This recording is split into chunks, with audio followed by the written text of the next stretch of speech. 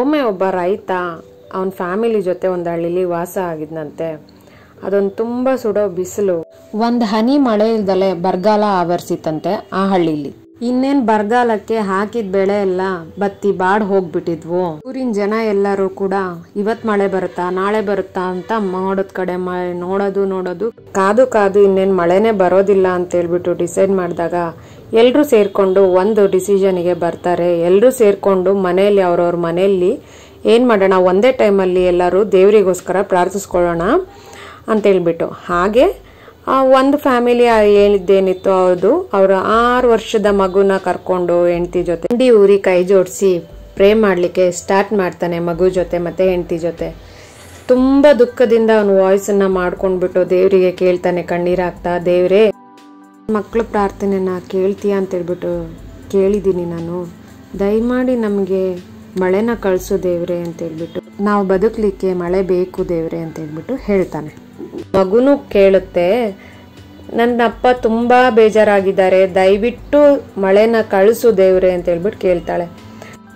ಇನ್ನೇನು ಪ್ರೇಯರ್ ಎಲ್ಲ ಮುಗೀತು, ಅವನು ಕೂಡ ಅಪ್ಪ ಎದ್ದ, ಹೊರಗಡೆ ಹೊರಟ. ಅವರ ಮಗಳು ಬರ್ತಾಳೆ, ಮಗಳು ಬಂದ್ಬಿಟ್ಟು ಕೇಳ್ತಾಳೆ, ಅಪ್ಪ, ಎಲ್ಲಿಗೆ ಹೋಗ್ತಿದ್ದೀರಾ? ಅಂತ ಹೇಳ್ಬಿಟ್ಟು ಅವನು, ಇನ್ನೇನು ಹೊಲದಲ್ಲಿ ಏನೋ ಕೆಲಸ ಇದೆ ಮಗಳೇ ಮಾಡಕ್ಕೆ ಹೋಗ್ತೀನಿ ಅಂತ ಅಂತಾಳೆ ನಾನು ಬರಲಾ ಅಪ್ಪ? ಅಂತ ಹೇಳ್ಬಿಟ್ಟು ಮಗಳು ಕೇಳ್ತಾಳೆ. ಅದಕ್ಕೆ ಸರಿ ಅಂತ ಹೇಳಿದಾಗ ಅವಳು ಒಳಗಡೆ ಓಡೋಗ್ಬಿಟ್ಟು ಒಂದು ಛತ್ರಿನ ತಗೊಂಡ್ಬಿಟ್ಟು ಬರ್ತಾಳೆ.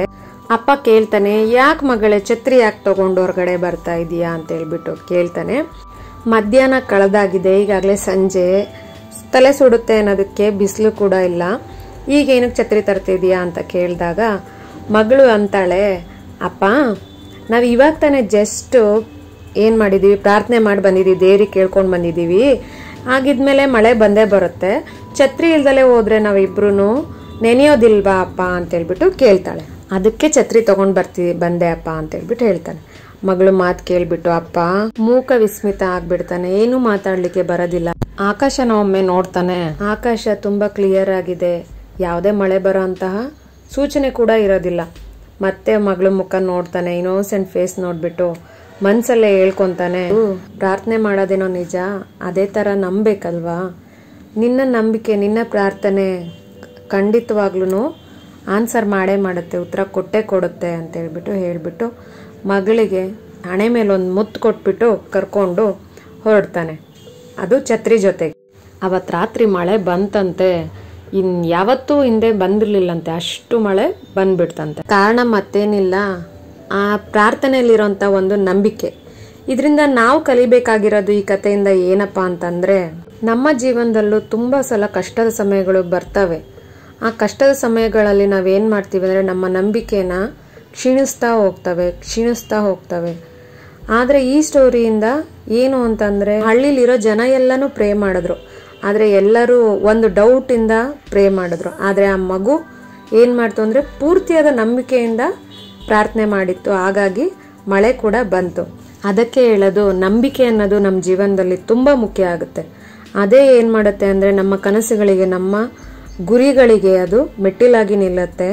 ಯಾವಾಗ ನಾವು ನಂಬಿಕೆ ಇಟ್ಟು ಪ್ರಾರ್ಥನೆ ಮಾಡ್ತೀವೋ, ಸಕಾರಾತ್ಮಕವಾಗಿ ಚಿಂತನೆ ಮಾಡ್ತೀವೋ, ಆಗುತ್ತೆ ಇದು ಅಂತ ಹೇಳ್ಬಿಟ್ಟು ಮಾಡ್ತೀವೋ ಆವಾಗ ಅದು ನಮ್ಮನ್ನು ಫಾಲೋ ಮಾಡಿಕೊಂಡು ಹೋಗುತ್ತೆ. ನಂಬಿಕೆನೇ ಇಲ್ದಲೆ ಮಾಡಿದ್ದ ಕೆಲಸಗಳು ನಮ್ಮನ್ನ ಮುಂದುವರಿಸಲ್ಲ ಅಂದ್ರೆ ನಮ್ಮನ್ನ ಪುಷ್ ಮಾಡೋದಿಲ್ಲ, ಮುಂದೆ ಮಾಡ್ಲಿ ಅಂತ ಹೇಳ್ಬಿಟ್ಟು.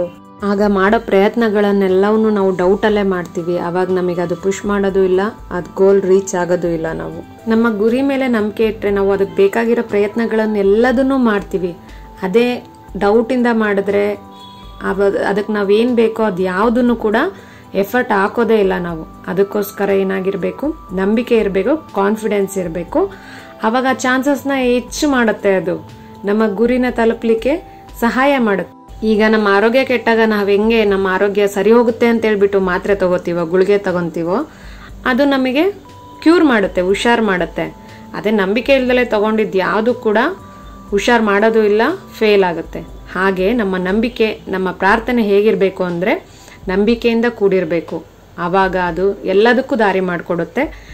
ನಮ್ಮನ್ನ ಚೇಂಜಸ್ ತರುತ್ತೆ ಪಾಸಿಟಿವ್ ಈ ಕತೆ ಒಂದೇ ಹೇಳಿದ್ದು, ನಮ್ಮ ಮೇಲೆ ನಮಗೆ ಅಚಲವಾದ ನಂಬಿಕೆ ಇರಬೇಕು. ಆವಾಗ ನಮ್ಮ ಗುರಿಗಳನ್ನು ನಾವು ಮುಡ್ತೀವಿ ನಮ್ಮ ಪ್ರಾರ್ಥನೆ ಸಲ್ಲುತ್ತೆ. ನಂಬಿಕೆ ಕೇವಲ ಒಳ್ಳೇದನ್ನು ಆಶಿಸೋದ್ರ ಬಗ್ಗೆ ಅಲ್ಲ. ಒಳ್ಳೇದಾಗೇ ಆಗುತ್ತೆ ಅಂತ ನಾವು ನಮ್ಮ ಮನಸ್ಸಲ್ಲಿ ಅನ್ಕೊಳ್ಳೋದು. ಯಾರು ತಮ್ಮನ್ನು ತಾವು ನಂಬ್ತಾರೋ, ಅವರ ಕನಸುಗಳನ್ನು ನಂಬ್ತಾರೋ, ಅವರು ತಮ್ಮ ಗುರಿನ ಸಾಧ್ಯ ಸಾಧಿಸ್ತಾರೆ. ಸೊ, ಮೊದಲು ನಿಮ್ಮನ್ನು ನೀವು ನಂಬಿ, ಆವಾಗ ನಿಮ್ಮ ತಲೆಯಲ್ಲಿರುವಂತಹ ನಿಮ್ಮ ಮನಸ್ಸಲ್ಲಿರುವಂತಹ ಯಾವುದೇ ಗುರಿನಾದರೂ ನೀವು ಸಾಧಿಸೇ ಸಾಧಿಸ್ತೀರಾ? ಯಾಕೆ ಅಂತಂದ್ರೆ ಅಚಲವಾದ ನಂಬಿಕೆ ಎಲ್ಲದರ ಕೀನೋ ತೆಗೆದು ತೆರೆಯುತ್ತೆ. ತೆರೆದು ನಮಗೆ ದಾರಿ ಮಾಡಿಕೊಡುತ್ತೆ. ದಯಮಾಡಿ ಸಬ್ಸ್ಕ್ರೈಬ್ ಮಾಡಿ.